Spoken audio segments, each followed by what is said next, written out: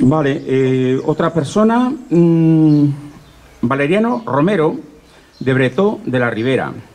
Valeriano Romero comenzó en 1910, eh, posteriormente tocó con su hijo Francisco eh, y durante los años 40 ya pasaron a otros instrumentos, de nuevo clarinete, saxofón, trombón, etc.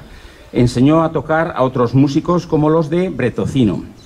Llegamos a conocer un cuadernillo de Valeriano Romero de melodías eh, eh, pues transcritas eh, a mano y tenía cierto convenio con, con editoras de Argentina y por ahí para que le mandaran en hojas sueltas pues las últimas melodías.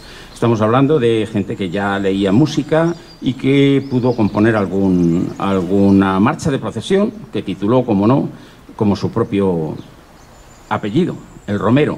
Nosotros vamos a tocar el pasacalle de Bretó de la Ribera, del repertorio de Valeriano Romero.